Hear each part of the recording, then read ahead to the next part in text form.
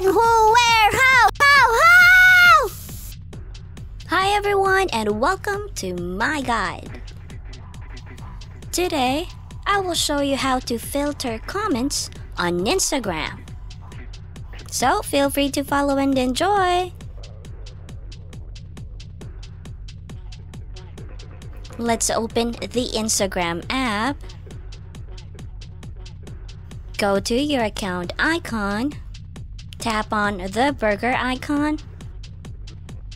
Hit settings. Let's continue this with dark mode on. Alright, now let's proceed. Hit privacy. Then tap on comments. By default, hide offensive comments is already enabled. What we need to work on is the manual filter.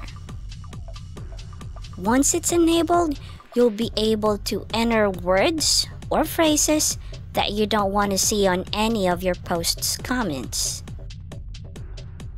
If someone's comment has any of the filtered words or phrases, comment will automatically be hidden. It's a great feature, isn't it? Go ahead and try it. Hope this video helps. Wish you the best. And don't forget to like and subscribe. Bye.